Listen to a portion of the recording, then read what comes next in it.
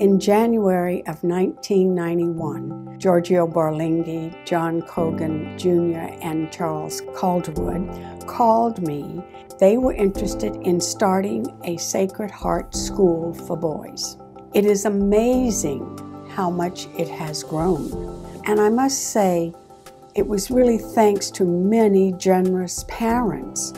It is fun to think back to those who preceded us and starting a school from scratch unbelievable courage, optimism to do that sort of thing, to raise millions of dollars for new construction, all very large tasks. My spouse and I, we, we decided to choose Regis for uh, really the Sacred Heart goals and criteria. Not only a good Catholic foundation, but just a value system that we felt all parents of all faiths would value. Leaders of the nations. Every kid who goes to our school is meant to be a leader. They are leaders because they have the courage and the confidence to be who they are and celebrate that.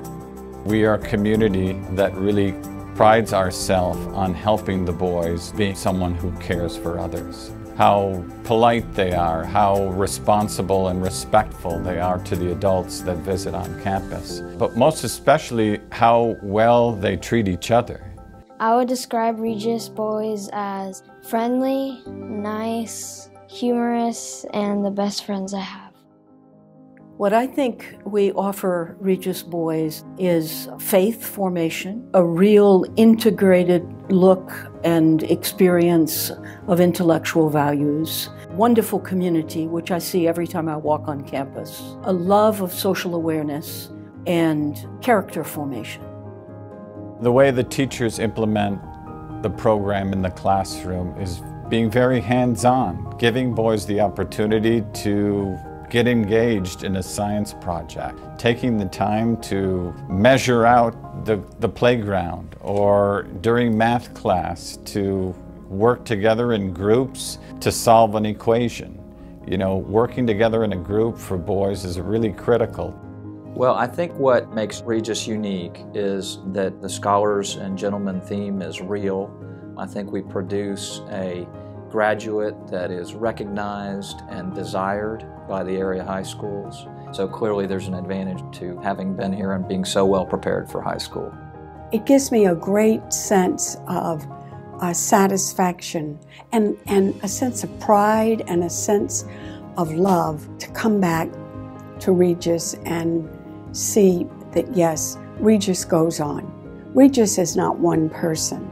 Regis is all of the people that have gone before. I'd like to thank all the past board of directors, families, uh, as well as the faculty, staff, and heads of school. Over the last 25 years, it has really created the foundation and the opportunity for not only myself, but our current board of directors to play a small role in Regis's just young and developing 25-year history. I've been in Houston 20 years, so I've seen 20 of the 25 years of Regis. And I know many of the guys who have been through this school. They are sterling, wonderful, vibrant leaders. Congratulations and keep on doing the wonderful things that you're doing. Regis is very well positioned for the next 25 years. And it's important at events like this to think about what has been done in the past and then to go on to think about how are we going to leave this place better than we found it, as our predecessors did for us. 25 years from now, the world will be a very different place. And we need to equip the boys with the skills that they need. To the founding families, I would say thank you for being courageous and for being confident and believing in your dream. Because the dream is a reality today.